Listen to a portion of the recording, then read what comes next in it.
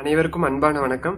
நாம் இப்போ பார்க்க போகிறது வந்து திருச்சி மாவட்டம் திருச்சியிலிருந்து பதினோரு கிலோமீட்டர் தொலைவில் இருக்கிற குமாரவயலூர் சுப்பிரமணிய சுவாமி கோயிலை பற்றி பார்க்க போகிறாங்க இது வந்து வயலூர் முருகன் கோயில் அப்படின்னு தான் எல்லாரும் சொல்கிறாங்க இங்கே வந்து கோயில் எப்படி உருவாச்சுன்னா ஒரு முறை சோழ மன்னன் வந்து வேட்டைக்கு போறாருங்க. வேட்டைக்கு போன இடத்துல அவருக்கு வந்து தண்ணி தாகம் எடுக்குது. தண்ணி தாகம் எடுக்கிறப்போ அவர் தேடுறாரு எங்காச்சும் தண்ணி கிடைக்குதா? அப்படின்னு. ஆனால் அவருக்கு எங்கேயுமே தண்ணி கிடைக்கல.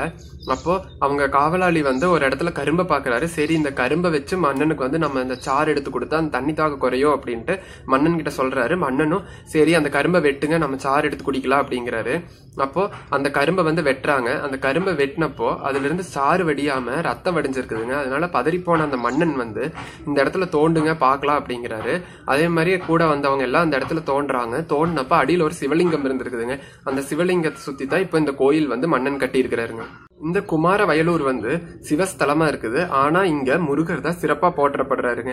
அருணகிரிநாதர் இங்க திருப்புகழ் பாடி இருக்கிறாரு அருணகிரிநாதர் எப்படி வயலூருக்கு வராரு அப்படின்னா திருவண்ணாமலையில கோபுரத்துல இருந்து கீழே குதிக்கிறப்போ முருகர் வந்து மயில வந்து அருணகிரிநாதரை தடுத்தாட்கொண்டு முத்தை தரு பத்தி திரு அப்படின்னு அடியெடுத்து கொடுத்து திருப்புகழ் பாட வச்சாருங்க. அதுக்கப்புறம் அருணகிரிநாதர் எங்கேயுமே போய் திருப்புகழ் பாடல.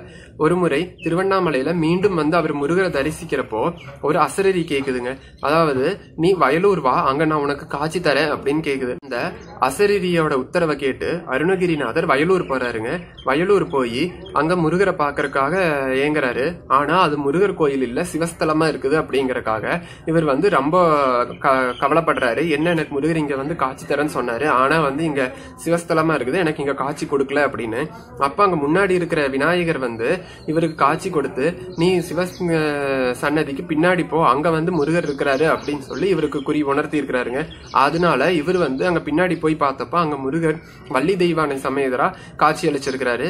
அப்பதான் முருகர் வந்து இவருக்கு நாவல ஓம் அப்படின்னு எழுதி அங்க வந்து திருப்புகழ் பாட வைக்கிறாருங்க. அருணகிரிநாதர் வயலூர்ல மொத்தம் பதினெட்டு திருப்புகழ் வந்து பாடியிருக்கிறாருங்க.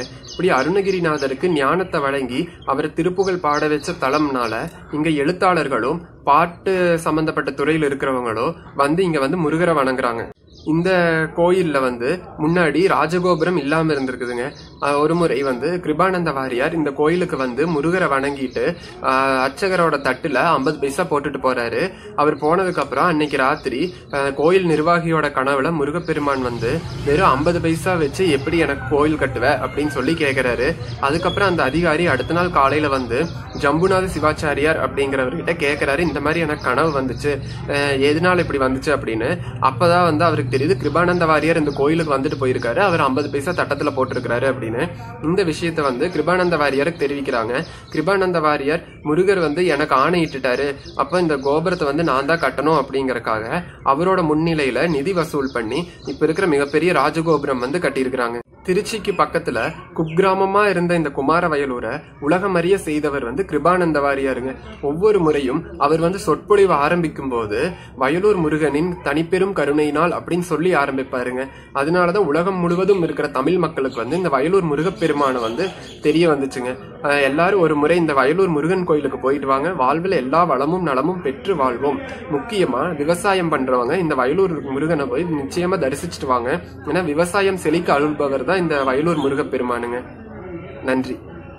இந்த சேனலை சப்ஸ்கிரைப் பண்ணாதவங்க சப்ஸ்கிரைப் பண்ணி பக்கத்தில் இருக்கிற பெல் ஐக்கானை ப்ரெஸ் பண்ணிருங்க.